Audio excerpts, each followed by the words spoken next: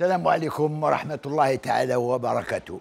Saint-Eugène Saint-Eugène كما يقولوا Saint-Eugène خاصة منطقة بولوغين هذه Madame l'Afrique واثار تاريخية على كل حال اللي جاية ما بين سيدي بن نور وبولوغين وكما نقول لك مقابلة البحر الأبيض المتوسط ومنطقة باب الواد. bon إحنا نشوفوا الحال كيفاش راح يكون غدوة الصباح.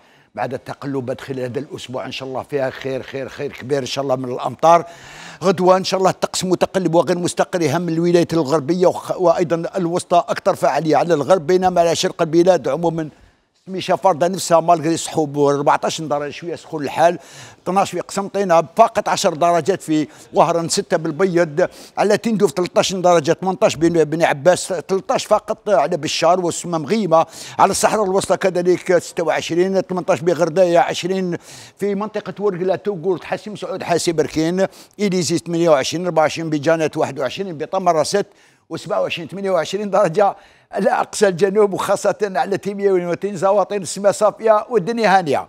نجوزوا للظاهرة الظاهرة هنا الوضعية آه، يكون طقس متقلب خاصة في آخر النهار مع أمطار أمطار محليه تقدر تكون معتبرة خاصة على الغرب وأيضا الوسط خاصة المناطق الداخلية والهضاب العليا. وكذلك غيوم كثيفة تلحق بالولايات الشرقية ويتلحق الأمطار اليومات اللي جايين إن شاء الله.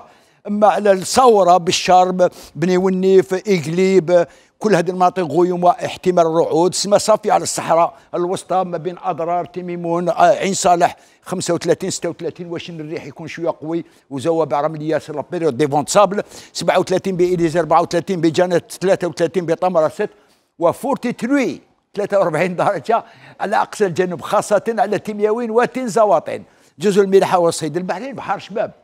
على طول الشريط مالغري الريح يكون ما بين 15 20 كيلومتر الساعة شمالي شرقي شمالي شرقي جنوبي غربي شمالي غربي شمالي شرقي.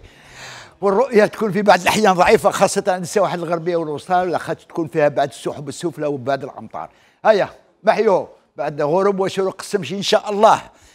أزكى إن شاء الله ولحب ربي نكونوا السبت 18 أبريل 2020 شروق وغروب الشمس العناوين الإلكترونية في خدمتكم وقال نقول لكم ربي يدوم قوستكم وقعدوا في بيوتكم.